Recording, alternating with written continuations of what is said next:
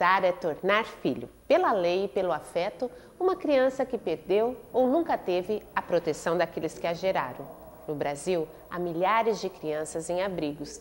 Nem todas podem ser adotadas porque têm situação jurídica indefinida, ou seja, a Justiça ainda não terminou de investigar as possibilidades de reinseri-la na própria família e ela permanece em um limbo. Muitas vezes, infelizmente, o tempo passa e a criança cresce dentro da instituição. Para falar sobre esse assunto e tantos outros que envolvem a adoção, nós estamos recebendo hoje no Cidadania em Pauta a fundadora da Associação de Pais e Filhos Adotivos de Aracatuba, Marli Garcia. Marli, muito obrigada pela sua presença. Eu que agradeço. Bom, Marli, então vamos começar pela associação. Como funciona essa associação? Isso. A Associação de Pais e Filhos Adotivos, ela começou como um grupo, um grupo de pais que já tinham adotado e encontravam alguns problemas, como, como contar para a criança que ela é adotiva, a partilha, né? E, e aí nós começamos a nos reunir e, é, enquanto grupo. E depois passamos a uma associação né? Associação que tem todos os papéis, tudo certinho, é, vinculado ao conselho, né? ao Condica. E, então, essa associação, ela não tem fins lucrativos nenhum. E são pais adotivos que recebem os outros pais que ou que já adotaram ou que pretendem adotar. Então nós recebemos é, na nossa sede damos às vezes alguma instrução psicológica com alguma pessoa que mãe adotiva que, que, que, é psicóloga ou alguma instrução jurídica com alguns pais que são é, advogados porque nós não temos assim uma verba nós não recebemos verba de governo para essa associação.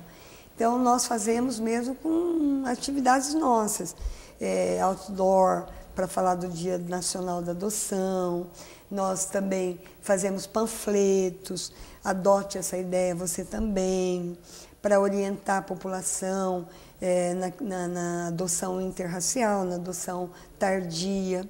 Né? E então nós queremos mostrar, passar a imagem da adoção de forma positiva, né? que vale a pena adotar, que vale a pena abrir o coração para um ser. Bom, então o governo não tem nenhum tipo de trabalho relacionado a isso. Por exemplo, uma ajuda aos pais que têm filhos, não tem nenhum tipo não. de. Aqui no Brasil não existe. Uhum. Ah, em outros países, sim. Uhum. Eu, nós já recebemos casais que vieram adotar crianças aqui, que passaram por todo, todo o curso, porque lá na, eh, na Europa, principalmente na Itália, é, há uma preparação muito grande dos casais que vêm para adoção. E há muitas dificuldades desses pais, né, Marli? Que tipo, por exemplo, de dificuldade quando, uh, por exemplo, adotou? Quer dizer, como todo pai tem, porque criança Isso. não vem com manual de instrução. Isso. Mas, assim, que tipos de, de, de problemas são peculiares para as pessoas que adotam? Que adotam? Bom, depende muito da idade que a pessoa adota. Se ela adota bebê, ela já vai adotando, já vai colocando nos moldes da própria família. Mas acontece que às vezes a criança vem maior. E, e no caso do, do, da adoção internacional, eles levam muitas crianças maiores né, para lá. Então, já vem com costumes. Eu, por exemplo, na minha casa, eu tenho vários tipos, né? Eu tenho adoção interracial, tenho adoção tardia, tenho adoção de bebê, tenho apadrinhamento, né? Tudo na minha casa. E mais alguns tipos, que, né, que ainda estão vindo, além do neto, que a gente já está abraçando também. Mas é, eu vejo que numa adoção tardia, numa adoção de uma criança maior, ela já vem com, com costumes, né? Eu, por exemplo, a minha filha com dois anos e meio, quando eu adotei, ela era andarilha. Então, ela não comia pão mole, ela só comia pão duro, porque era o que ela conseguia, eles conseguiam na rua, né? Então, é, vem com algumas coisas que, que você não gostaria que tivesse vindo, uhum. mas nada do que o amor não possa consertar. Bom, muitas pessoas têm o preconceito de falar que filho adotivo vai dar problema, né? É. O que, que você acha dessa frase, Eu Marli? discordo, porque não é só o adotivo. Gente dá trabalho sempre, né? Uhum. A gente tem que ter essa consciência de que gente dá trabalho sempre. Mas uma vez uma pessoa me questionou em relação a isso e eu fiz uma devolutiva a ela assim. Por que na cadeia só tem filho adotivo? É uma coisa a se pensar. Né? Não é só. É lógico que tem, traz marcas, traz né, é, problemas, às vezes, da, da, da, família, biológica. Por exemplo, quando a minha filha outro dia foi ao médico, mãe, o médico perguntou se na minha família tinha é, problema de diabetes. Aí eu falei assim, ah, meu pai. Depois eu caí na real, mãe. Porque eu não sei qual família que ele estava perguntando, se era biológica, né? Com certeza. Ela respondeu a família adotiva, uhum. mas na verdade era a família biológica, que é de onde ela veio, né? Mas, é, mas acaba sendo tão, tão natural, natural é. que as respostas vêm assim. Mas eu não acredito que seja só é, o filho adotivo que dê problema, não. Eu sou professora, sou educadora e vejo, às vezes, num grupo de irmãos, um, um, irmão que se interessa por estudo, que vai muito bem, tem outro que é disléxico ou que, que tem hiperatividade e é filho da mesma barriga. Uhum.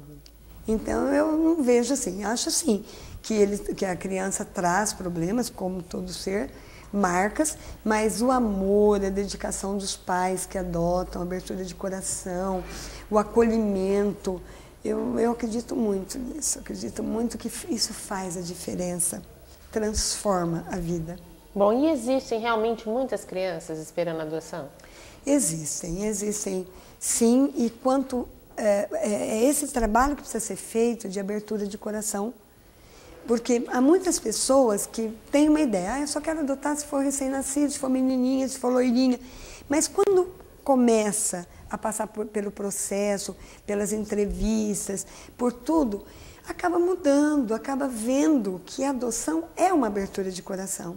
Então, vendo uma criança de três anos, de quatro anos, sabe, ou de cinco anos que vem chegando, vem abraçando, vem se aconchegando, a pessoa fala assim, não, não é isso, eu, eu estava equivocado de querer só uma criança recém-nascida. E a pessoa que Olha, quer adotar, ela, ela, ela, passa por esse processo, ela vai conhecer as crianças, como que é? Maria? É, ela, ela, ela, primeiro ela vai ao fórum, né, a adoção ela é legal, ela é legal dos dois jeitos, a palavra legal aí, de legalidade, legal porque é bom, porque você, é, você não adota só para sanar um problema seu, mas você adota também para ajudar aquela criança, né?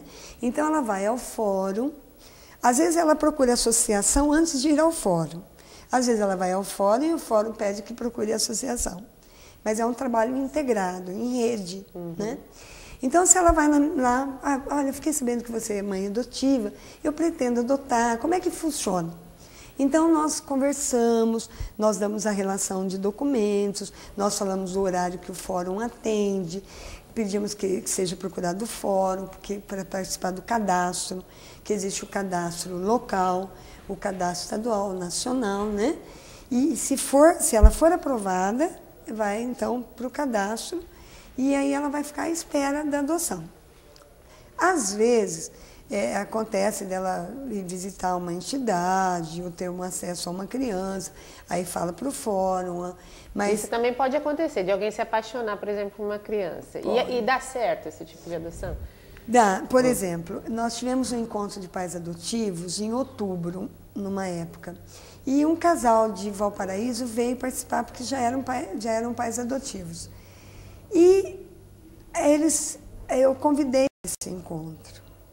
E lá na hora do encontro, tinha um menininho que não largou a filha adotiva desse casal. Era uma coisa incrível, foi para a piscina, queria só ela e tal. E, e essa criança já estava disponível para adoção. Então, o que, que aconteceu? O casal foi para Valparaíso, mas com aquela criança na cabeça. E aí foi ao fórum, tudo.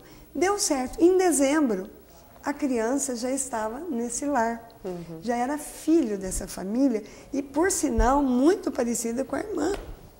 Né? Então, eu acho isso maravilhoso. É um encontro de almas também, né? Uhum. É um encontro de almas. Eu, por exemplo, quando adotei a, a, a minha filha, a última, a Bruna, é, existia uma irmãzinha dela de um aninho. Mas a minha ligação foi com ela de dois anos e meio. Né? Quer dizer, não poderia foi, ser, poderia ser com, normal, com a loirinha, né? poderia ser assim, mas não. Aquele, aquele encontro de almas mesmo foi com a maior. Você está falando assim, no seu caso, que você adotou, passou a adotar outra vez e outra hum. vez, e, e, nesse caso desse pessoal de Valparaíso também. Quer isso. dizer, é comum isso? A pessoa adota, gosta da experiência isso. e adota outras? É comum. É comum não só é, dentro da própria família, mas, por exemplo, na minha família, depois que eu adotei, a minha mãe adotou, a minha cunhada adotou, a minha prima adotou. Então vai formando uma corrente, a corrente do bem, né? dos elos de amor. Porque a pessoa diz, nossa, como foi maravilhoso. Eu, por exemplo, eu não vejo a minha vida hoje sem meus filhos. Eu não, não sei como é que seria a minha vida. Né? O meu próprio trabalhar, saber para quem vão ficar minhas coisas, assim, a continuidade da, da, nossa forma de pensar, da nossa união. Então eu vejo quão importante foi para minha família.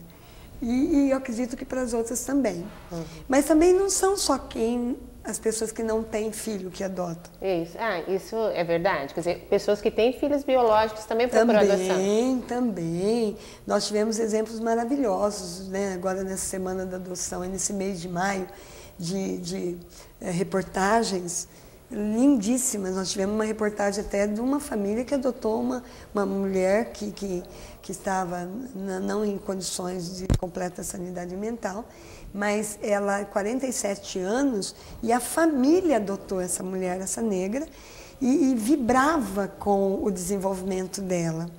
Né? Então, isso é um excelente exemplo. Na nossa associação, nós temos também o caso da, da Marinês, que adotou, que tinha uma filha biológica, adotou o Pedro, que é uma criança com necessidade, né, com, com algumas deficiências auditivas, não fala e não anda, né? E só o amor explica, só né? o amor explica essa dedicação da Marinês, que por sinal tem um conhecimento de enfermagem, né? É enfermeira e, e, e ajuda essa criança e vê com a maior naturalidade. Ela vê para mim não há diferença. Né?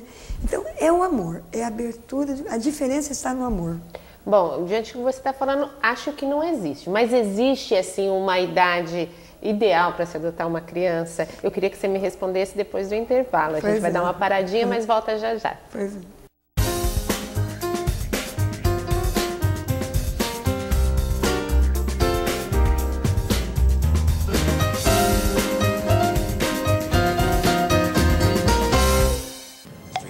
Jeitos de conter as mudanças climáticas. O primeiro jeito, você se torna um cara popular, inicia uma carreira política meteórica, se candidata a cargos públicos, é eleito presidente, transforma o país numa superpotência. E aí, convence os outros países a parar de poluir o planeta. E o segundo jeito de conter as mudanças climáticas? Ué, use só lâmpadas fluorescentes. Salvar o planeta é agora ou agora.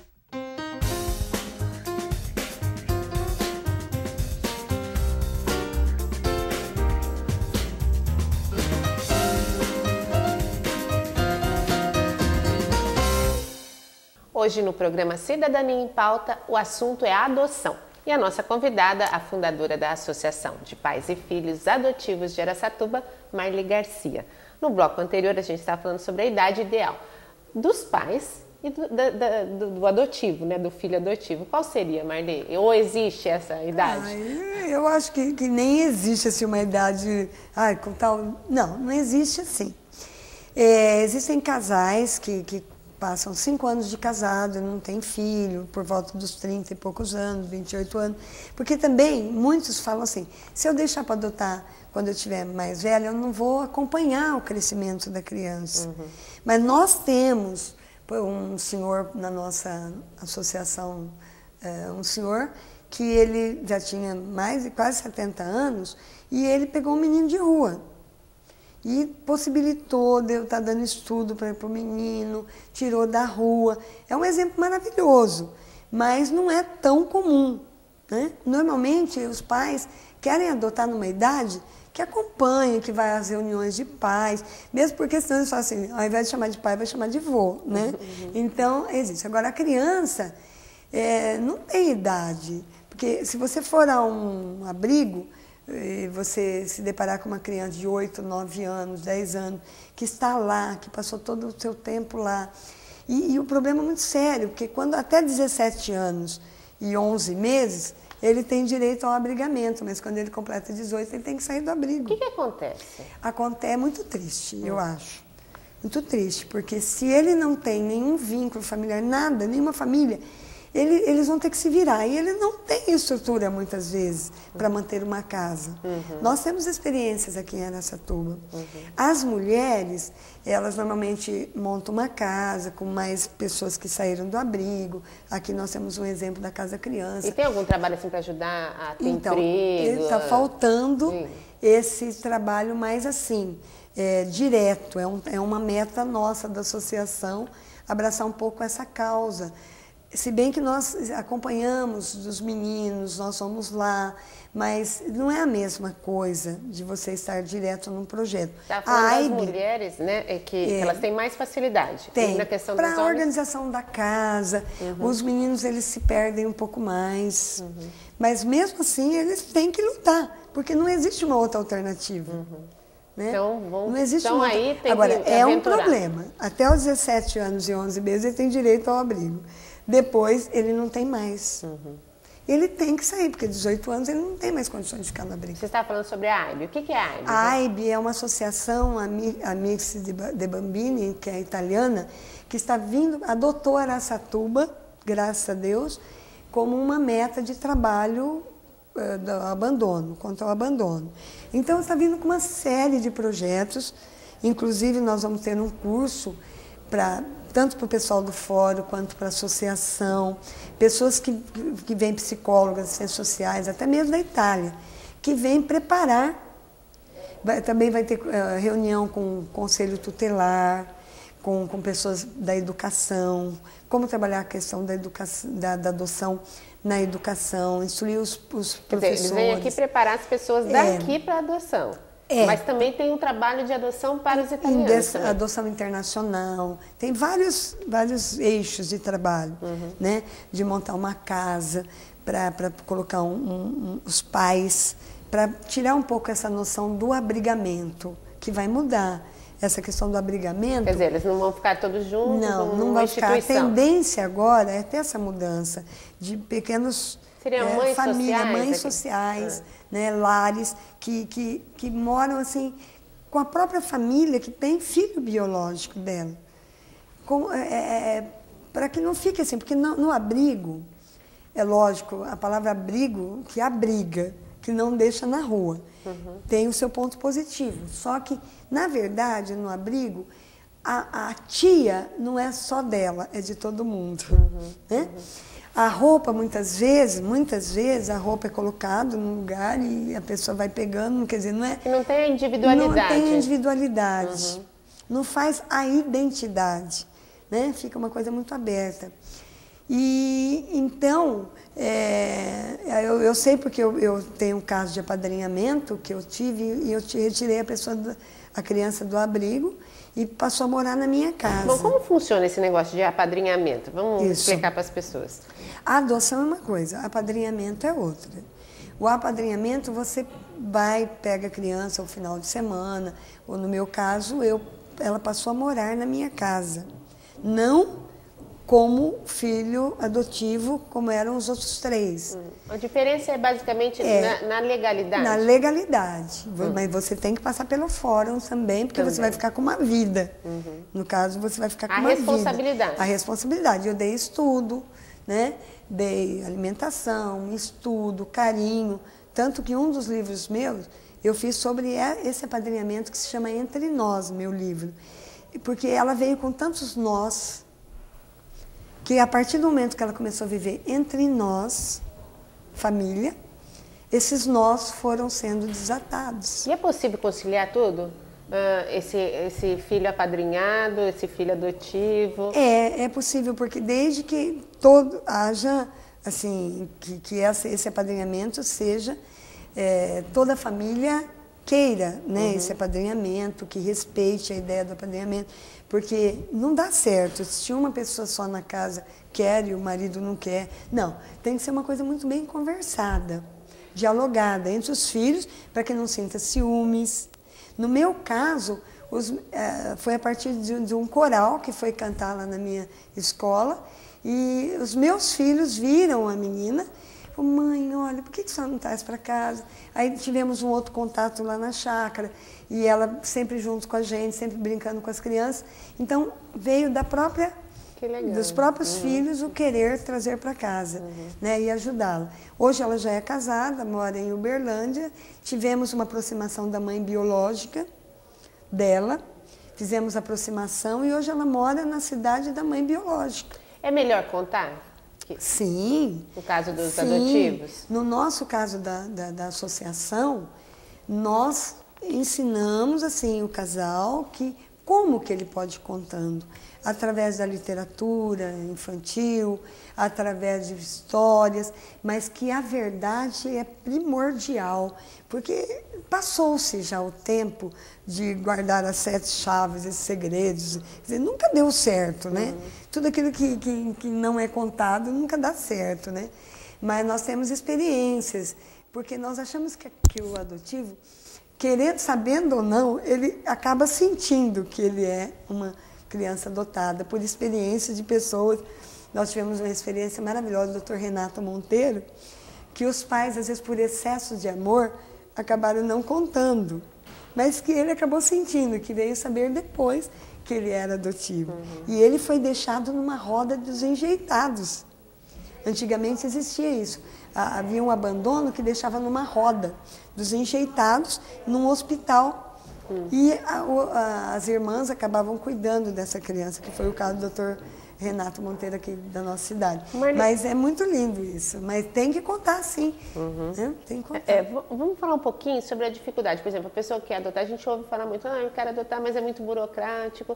Como, que, quais são esses entraves? O que, precisava, é, que precisaria melhorar nesse sentido? Olha, que a burocracia tem que haver.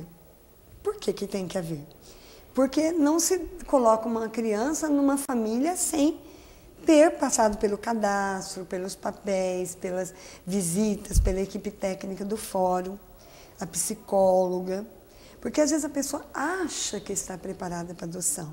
Olha, às vezes ela perdeu um filho biológico e ela quer repor um filho. E ela acha que ela está preparada, porque ela quer um filho que mais ou menos como aquele que faleceu. Uhum. Então, a psicóloga vai explicar para ela que não é assim, que cada criança tem sua identidade, que pode ter uma decepção e pode estragar o plano da adoção, né? pode não dar certo. Então, então na sua opinião, essa... é, é, é, importante é importante, esse... É importante. Uhum. Agora, o que precisa é, se, se a criança que, é, que o casal almeja já estiver liberada, né, para adoção, não demora tanto o processo. Só demora quando não existe aquela criança ainda uh, já liberada para adoção. Uhum. Eu acho que hoje está muito mais rápida a adoção, embora tenha esse cadastro. E, e eu acho assim, que é, é, também no tempo de Deus, porque às vezes aquela criança, aquela criança não deu certo para aquele casal, vai dar certo para um outro casal, uhum. né? E eu acredito muito nisso, tanto que eu estou escrevendo um livro A Mão de Deus na Adoção, uhum. porque é essa trajetória do amor dessa criança, dessa mãe que por algum motivo não pôde ficar com a criança e que graças a Deus não abortou, graças a Deus. Eu oro muito pelas mães dos meus filhos, porque elas não abortaram. Porque se elas tivessem abortado, eu e, não na verdade, elas tiveram coragem de ter. Muita né? coragem. Uhum. Elas levaram a gravidez, né? A, a, levaram até o fim. Né? Hoje, eu li uma reportagem outro dia de mãe de aluguel.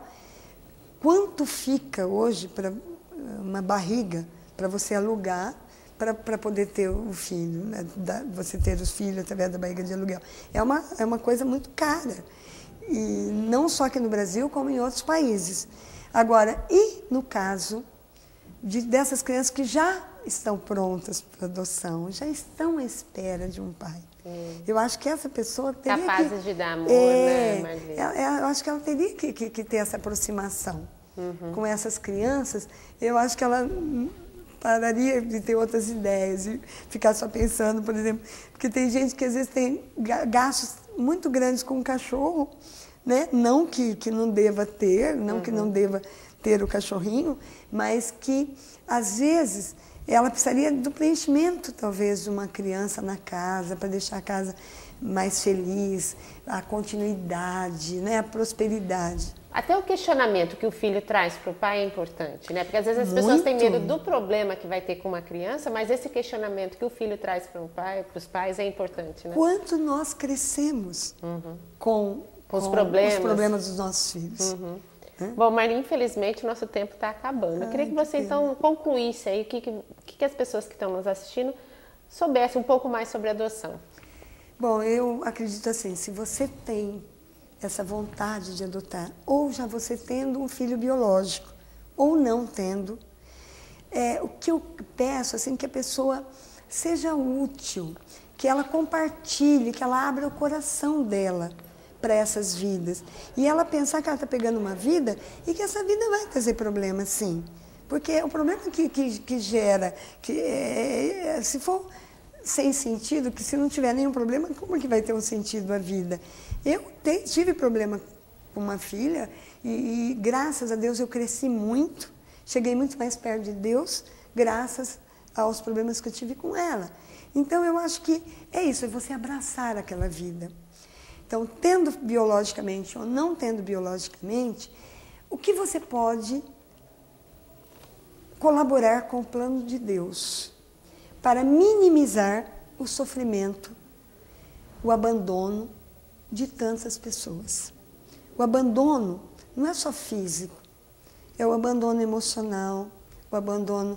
E, e você que tem filho, adote seu filho todos os dias dê amor, dê carinho.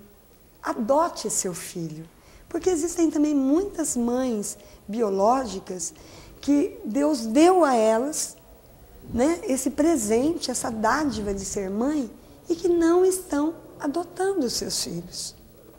Né?